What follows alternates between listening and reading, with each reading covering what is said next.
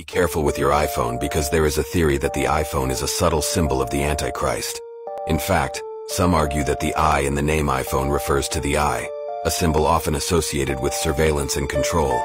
And this is where the theory gets really interesting. The iPhone has the ability to hear and watch almost everything you say if you do constantly. It's constantly listening. And what about Siri? It turns out that if you spell Siri backwards, it gets Iris.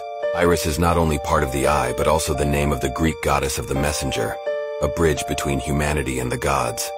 If you turn your iPhone upside down and look at the back, you will see the familiar Apple logo, an apple with one bite missing. It reminds many of the forbidden fruit in the Garden of Eden, the instrument Satan used to tempt humans into committing the world's first sin.